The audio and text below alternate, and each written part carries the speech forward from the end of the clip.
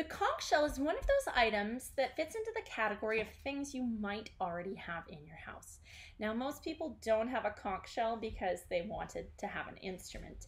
The conch shell is one of those things that people who have maybe gone on tropical vacation might have brought home simply because of the beauty of the shell.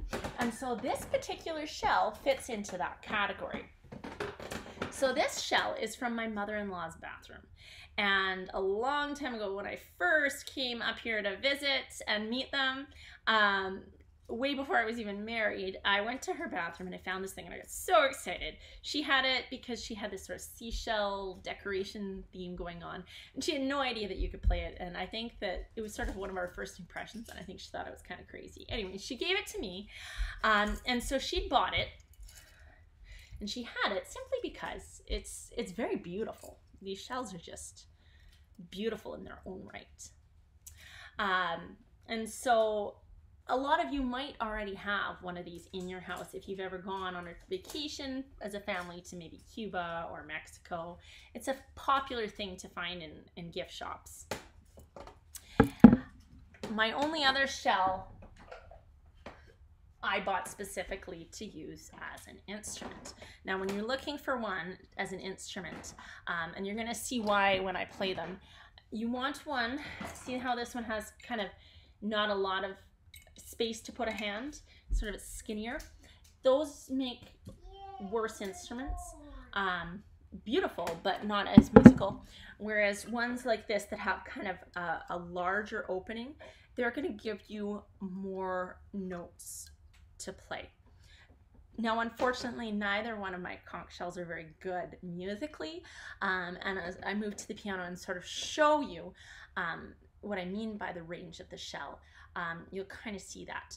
So I have two great colleagues out there. Um, my friend Allison Zykowski actually just won a conch shell blowing competition um, down in Florida, and she does amazing things. She has a whole collection of shells, and she's taken the time to go shopping and find shells that give her lots of different note ranges, um, as well as Nick LaRiviere. Um, he does amazing jazz things with conch shells.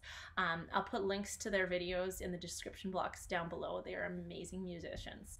Um, but my little video today is going to more focus on just how to make a sound on these, how to play them, and how to go about figuring out what you can do with the shell that you have. Now, before we get too much into me telling you how to play this, I think we really should listen to at least one expert playing it. So I'm going to share you the short clip of my friend Allison um, playing a piece that helped her win that competition I was talking about earlier.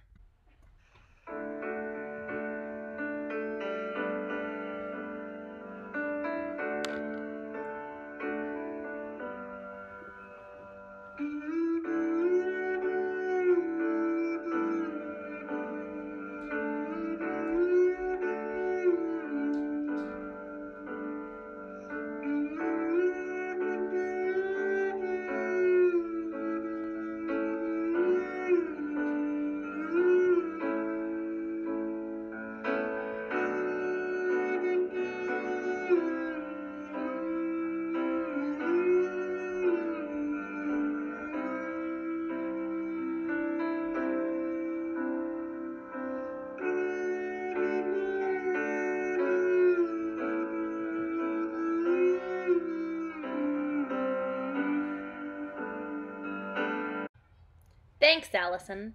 Let's learn how to play the conch. So first things first, um, how do we play these? So it's the same thing as a trumpet. And in fact, this instrument um, became an instrument for the same purposes as trumpets did in other parts of the world. Um, I believe it was fishermen, you know, inside the shell is an animal, um, the conch.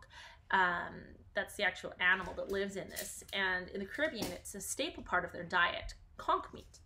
And so fishermen were probably taking their knives, you know, scooping it out to eat, um, nick the shell, pour it out in the ocean. They realized that if you take this and blow into it, you can get a sound. How do you blow? Well, what you do is you take a deep breath, put your lips really close together, and blow really hard.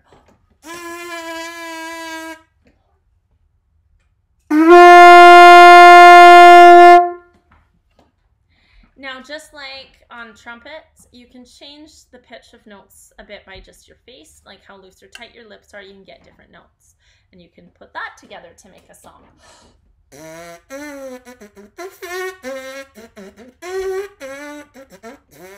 But not as exciting, right?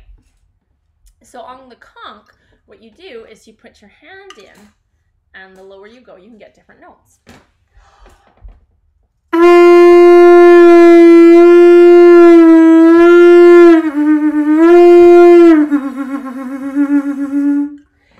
And if you blow really, really hard, you can maybe get the higher note of the octave.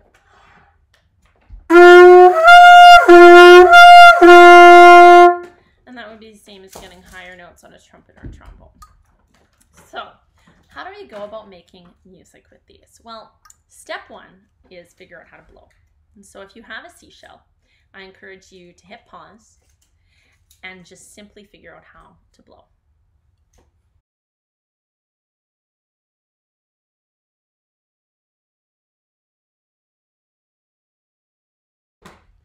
All right, so if you're back with me, you figured out how to make a sound. The next step is to figure out what notes your shell actually has. Now, this particular shell, its fundamental pitch is a concert F. So if I'm not doing anything with my hands, I'm gonna get an F. If I blow really tight with my lips, I will get the octave up higher, the high F.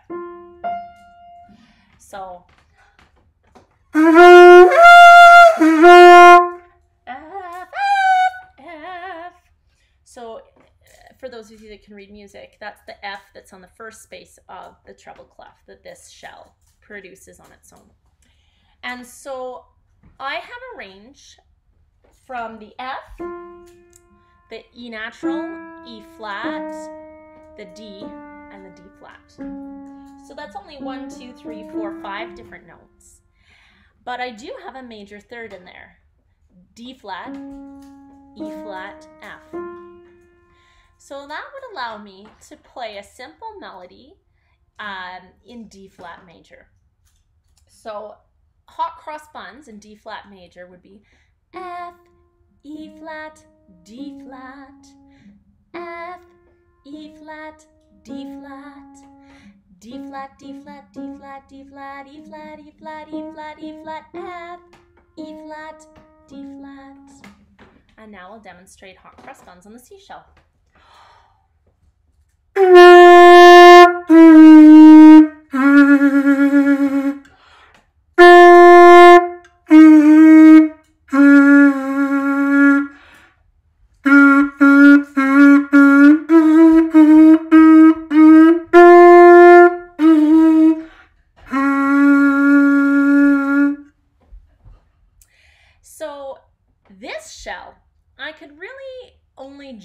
People if I wanted to use the notes D flat, E flat, or F if I wanted to have some range. Um, I could add in some accidentals and I could go F, E natural F, D flat.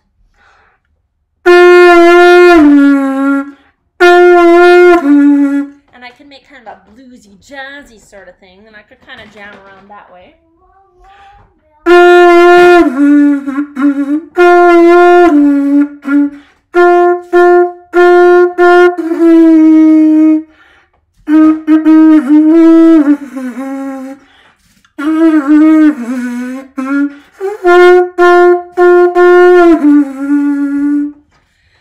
I can make a little jazzy thing. I could also play around with the octave thing and kind of make a little bit of a jam that way. But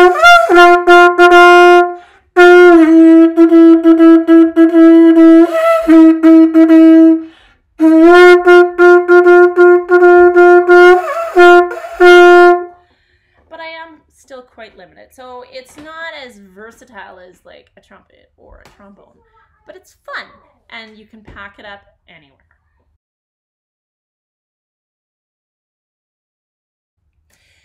So my mother-in-law's shell is less versatile. it is pitched in the key of C. And so um, it would be the C, like middle C. So the top of the bass clef or right at the bottom of the treble clef. And I also have a B natural, a B flat, and an A I can get with using just my hands. Now, so that's only a range of a minor third. So one, two, three, four notes less. So there's less that I can do, but I could create perhaps a minor melody.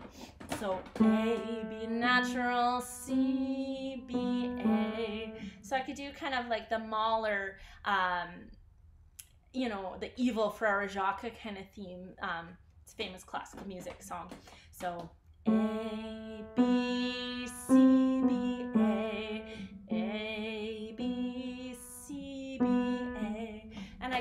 kind of a haunting melody with it. So here's the C. So the C is the note you get by just blowing. There's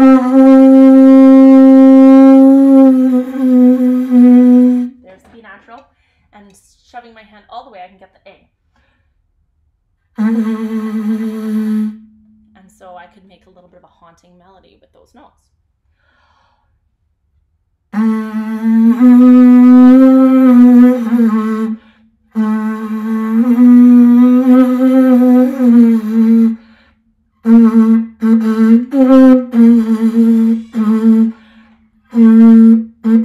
And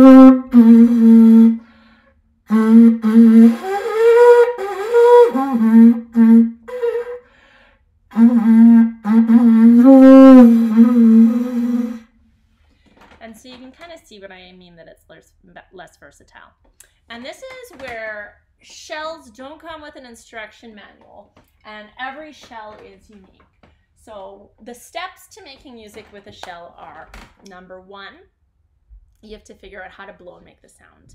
Number two, finding out what the fundamental pitch is using a piano um, when you just blow it straight. And number three, figuring out when you put your hand in how many different notes you can play. Now, um, this is where shopping with someone to buy a shell is hilarious. Uh, before I end my video, I'm just going to share a little story with you. Um, it was not when I purchased this shell but it was the trip after I purchased this shell. And I was with my girlfriend Allison Zykowski. She's the one I mentioned earlier. And again, I have links to her videos in the description box below. Um, she just won um, the world competition for conch shell blowing, so she's pretty good at this. Um, but when she was just starting out, we're shopping for seashells. And so we're backpacking through Mexico and we've rented bikes. So we're off the beaten path. We are in the part that isn't touristy and the people there only speak Spanish. And we were trying to speak Spanish. We have our guidebook. But I mean, our vocabulary is still quite limited, right? And so we're there and we're trying all these seashells and we're talking to each other and we're referencing pitch and what we're trying to do is we're trying to find a shell that has a different fundamental pitch than one that she already has and a shell that has quite a good range. So like you kind of saw, this shell had much more opportunities for musical um, exploration than this shell simply because you can get more notes. So what we're doing is we're playing all these different shells and we're looking to find, you know, the ones that have the most notes. And then we're also playing them and we're pulling out the shell that she's already got in her bag and we're like checking with our ears to see if it's different notes and trying to come up with creative things to do. Anyways, these poor Mexicans who are dirt poor, um, I mean, like this is their living and they just they, they, they don't understand what we're doing. And so they keep coming up to us with more and more beautiful shells. And they think that we're just like maybe bartering. And so they kept saying things like, oh, es muy caro, uh, ochenta pesos. Like, and then they're like siete pesos or whatever. Um, and then they're like lowering the price and like polishing shells to, to try and get us to buy them. And they don't understand because, for example, actually, um, this particular shell of mine, the one that's actually better, it has a minor imperfection. I don't even know if you can see that on the camera. Um, and so, yeah, like for our purposes, beautiful wasn't necessarily better. And so, like, they were bringing us like these huge, beautiful shells that were just like gorgeous, but they were kind of maybe more like this one. Um, where they were just kind of small and they didn't have a huge dynamic range. So we are like, no thank you. anyways, like these poor people, we, we finally we we bought like a couple shells, I believe. Um, we definitely did buy from them, um, but like they must th- those poor poor Mexicans like must have when we left been like so confused about these crazy tourists, and so that's my story of the day. This is how you can play the conch shell. Like I said, I'm not the master. I don't really even have the tools to be that great of a master, but um, like I said, my friends Allison Zykowski and Nick Lariviere, they've really done some amazing things. Um, also, a person that's amazing. I have no personal connection, but Steve Turre, he's a famous trombone player, and he does like crazy stuff. Um, one of the playlists I'm going to put in onto my YouTube channel is Conch Shell, um, and I highly recommend you listen through those um, because yeah, it's a fun instrument, and so if you have one at home explore. Send me a video of you playing it. Um, if you haven't below, click subscribe and then you'll be notified of all my future uploads. Thank you for hanging out with me during this uh, period of isolation and happy conching.